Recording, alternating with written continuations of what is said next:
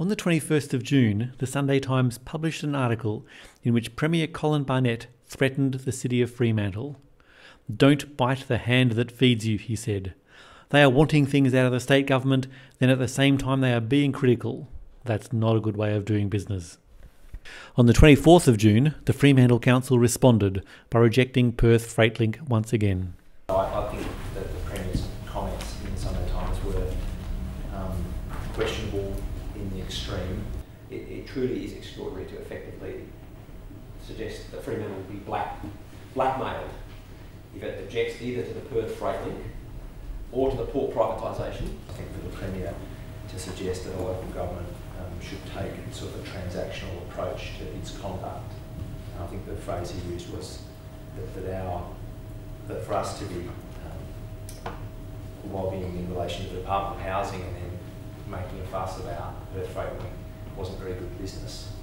We're not in business. I, I am very committed to not building more roads because they do cause more congestion.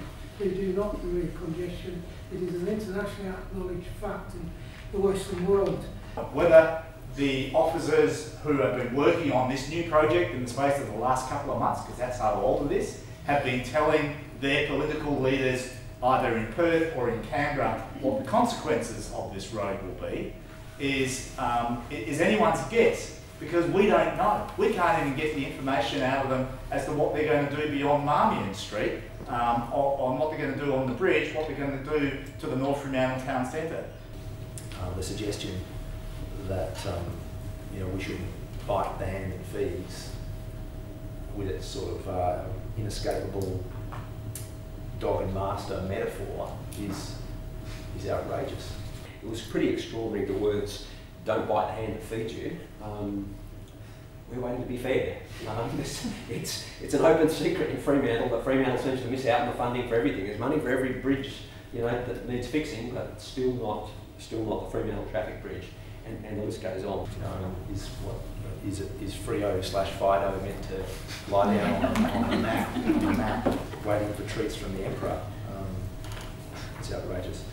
I mean, I, I, I think probably the strength we should draw from it is, is the fact that if you resort to that kind of language, it shows you've lost the argument.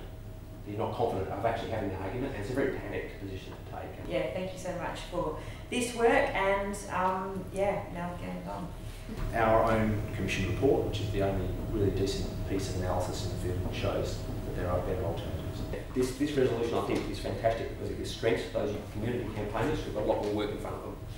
And uh, there's no guarantee that we'll win, but um, just the, the, way it's grown, I'm, I'm, optimistic that we will. And I think for me, I guess really the most powerful thing is that this is a big infrastructure investment and one which uh, I think the evidence shows there are better options. And I think that that's where I feel like we've got evidence on our side to actually say there are actually better, more sustainable options that are going to be not only better for Fremantle, but ultimately better for the wider region. And we need to make sure that we get this right. And I think uh, it's been really pleasing to see this council um, show such leadership in this regard. So thanks to everybody who has been driving this. It's been moved and seconded. All those in favour? It's unanimous. Thank you.